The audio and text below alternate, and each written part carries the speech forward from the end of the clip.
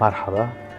اليوم بدنا نحكي عن شلش اسمه شلش الرباص هذا شلش الرباص عبارة عن شلش بينبت بين التراب ضمن الأرض بس بيكون موجود بالمحلات المرتفعة يلي هي ممكن تكون عليها تلج باردة.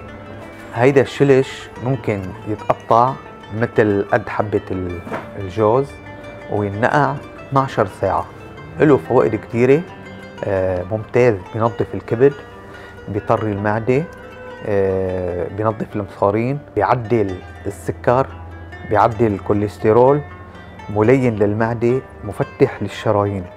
بس هيدا ما بيسوى الواحد ياخده على فترات طويلة لأنه بيخرج المي من الجسم. وشكراً